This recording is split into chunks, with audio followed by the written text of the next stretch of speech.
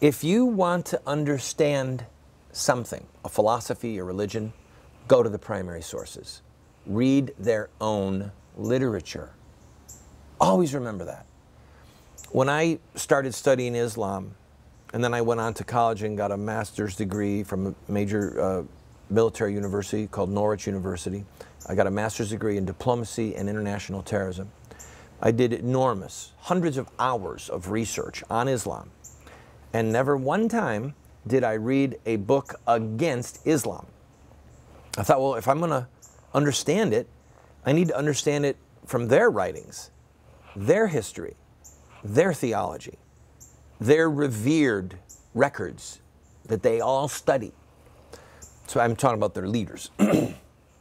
so, what I'm about to share with you is from their material, and it is highly revered, and they look at it as a great and awesome victory. And it's the foundation, part of the foundation that I discussed with you, of why Muslims feel justified in visceral hatred of the Jews and in their annihilation. When Muhammad was alive, there was a group of Jews living in a city, and they were called the Banu Qurayza, the tribe of Qurayza. And there were hundreds and hundreds of Jewish families. And they formed a confederation with some of Muhammad's political enemies, which came to nothing, totally came to nothing. Muhammad was out quelling this little turbulence. The Jews never took up arms against him, but they sided with the people that were trying to stop Muhammad, the growth of Muhammad's political leadership. Muhammad was going home, and he said that the angel Gabriel showed up to him and, in effect, told him that he was sending Muhammad back to bring the judgment of God upon the Jews of Banu Qurayza. So Muhammad went, and the very long story short is the Jews were given the opportunity to either fight or to surrender and to submit to the judgment. Other Jews had done so and were allowed to emigrate, to leave the Arabian Peninsula and take with them what they could, but then all the houses and the product and the chattel goods that were left went into the hands of Muhammad and his followers.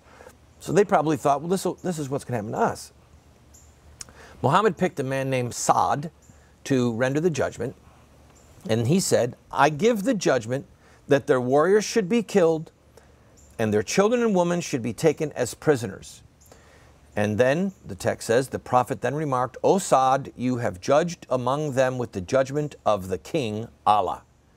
Another eyewitness account said, you have, Muhammad said that you have judgment, you have judged them with the judgment of the seventh heaven. In other words, Muhammad said, this is what God wants. So what they did was they, they took all of the young boys to see if they had hit puberty. Stripped them naked, saw if they'd hit puberty. If they had hit puberty, they were beheaded. And the women and the, and the children were then dispersed as slaves. But listen to what this historic record says, okay? This is really critical. Then the apostle went out to the market of Medina, which is still the market today, and dug trenches in it. Then he sent for them and struck off their heads in those trenches as they were brought out to him in batches. This went on until the apostle made an end to them.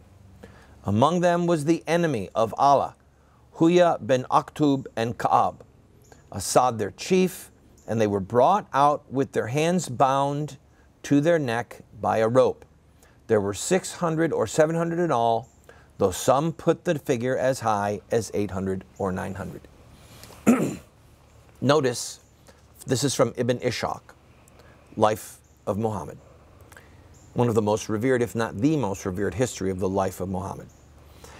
It says that the apostle went out. This all happened in Medina, by the way, which is where Muhammad lived and where he died. The apostle went out.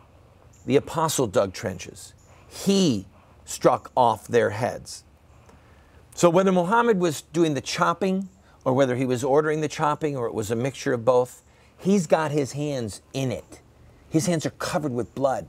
And he literally, brutally annihilated every single Jew. They dug trenches. It, it, it, looks and feels like World War II, the Holocaust. They dug trenches, had the men kneel over the trenches, cut off their heads, and then push their bodies into the trenches. Can you imagine the blood? Can you imagine the stench? the horror. That is why Muslims today feel totally justified in annihilating them. Because that's what Muhammad did. And then this is what the Quran says about that event. And he brought those people of the book, that's the Jews, who supported them, the, that little cabal I was telling you about.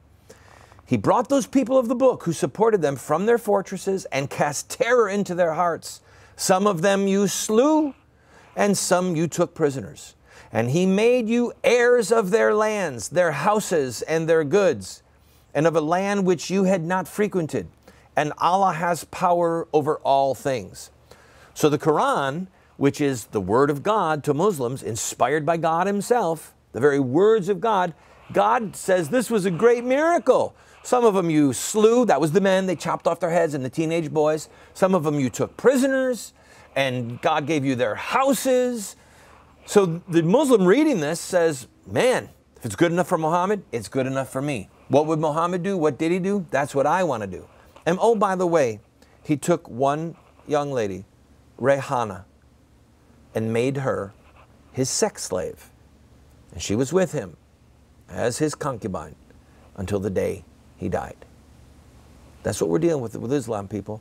When we come back, I'm going to tell you one other story which shows the root of their, their hatred for the Jews.